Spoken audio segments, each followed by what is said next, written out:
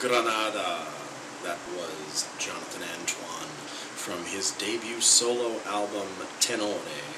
He's back in the studio with his new project, Believe, uh, coming out very soon, I believe, towards the I believe towards the end of the summer.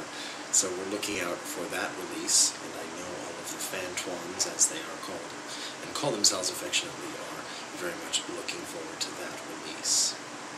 Next up is Grace Bawden.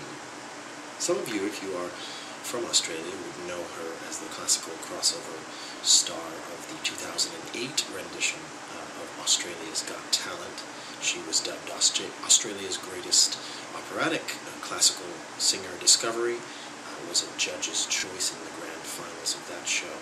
And while she was offered a major label career, she chose to remain independent. Originally from Adelaide, she continues to chase the dream. We're going to continue on the program with a track from her album, Gifts of Grace. This is a 2009 release, and this is her version of Just Breathe on Classical Crossover Live.